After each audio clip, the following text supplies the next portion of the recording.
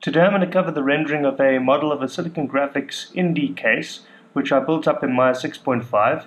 During the course of the video I'm going to render the model in both the standard Maya software as well as Mental Ray and when I render with Mental Ray I'm going to make use of the final gather feature to get ambient occlusion within the image. Okay so I'm going to start off by opening up Maya 6.5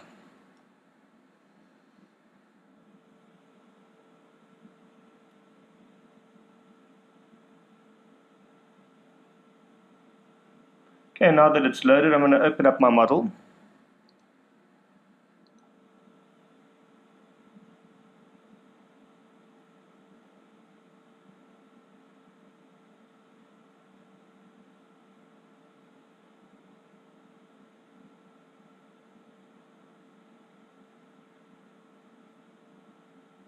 Okay, and there it is. Before I get to rendering the scene, I'm quickly going to show you the model. When to articulate it just to show you what it consists of. I've got two Indy cases as well as a one of the boards of the XZ graphic system which is within the Indy. What I'm considering is rendering an entire Indy, so I'm busy experimenting currently with the circuitry and bump mapping to see how accurately I can render the circuit boards.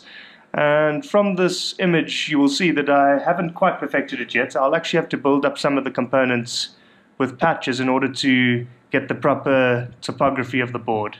I've also rendered an Indy mousepad in the scene as well. I'm quickly going to reload the scene just to get it back to the view that I wanted in.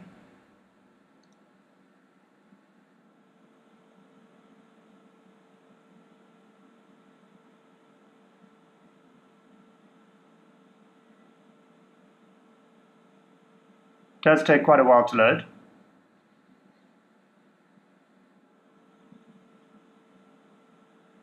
Okay, now that it's loaded, I'm quickly going to cover some of the render global settings with you. Okay, the image which I have rendered before is 1280 by 1024, but for the purposes of this video, I'm going to render it at 800 by 600 in order to save some time because especially when it comes to rendering with mental ray, um, when you render an image of this size, it takes over an hour to render. So I'm going to set it to 800 by 600.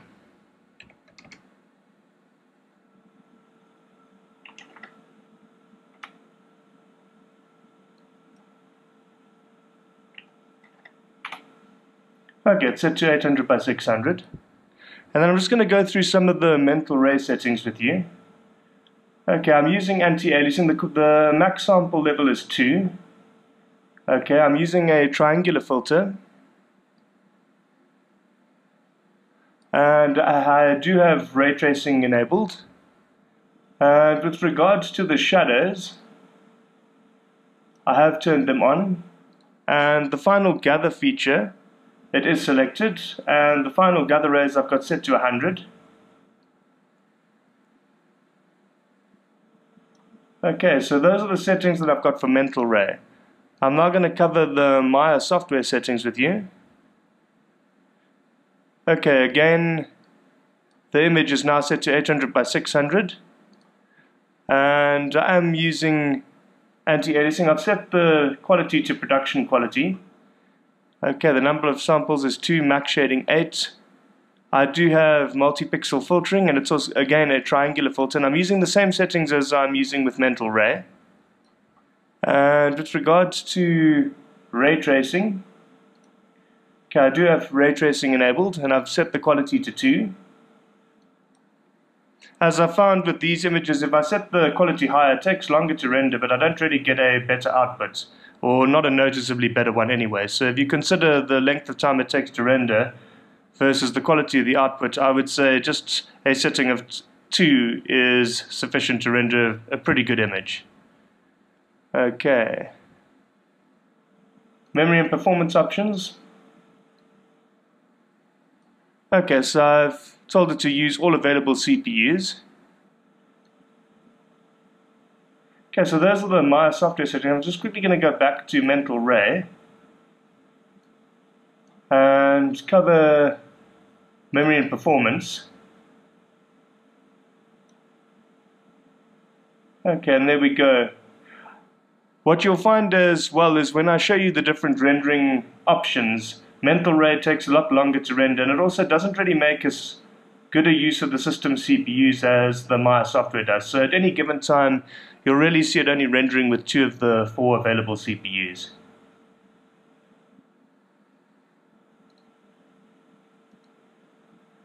Okay, so I'm going to start off with the Maya software rendering. And here it goes. What I will do is I will speed the rendering process up in order to save some time. And what I'll do is I'll speed it up by 20 times. So you can see the ratio of time it takes to render the Maya software image versus the mental ray image. So here goes the Maya software image.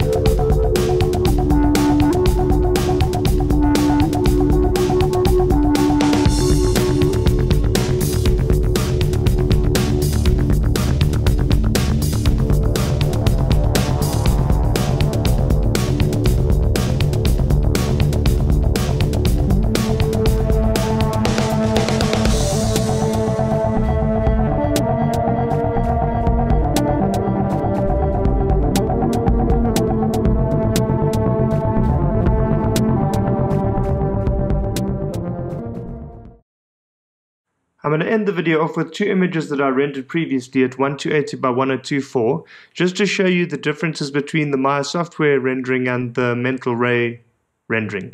So this image that you're looking at at the moment is the Maya software image and this image is the mental ray image and take note of the fact that in this image you have ambient occlusion this meaning that there are reflections within the environment and some of the color from the Indy case for instance you'll see present in the shadows on the table that it's resting on.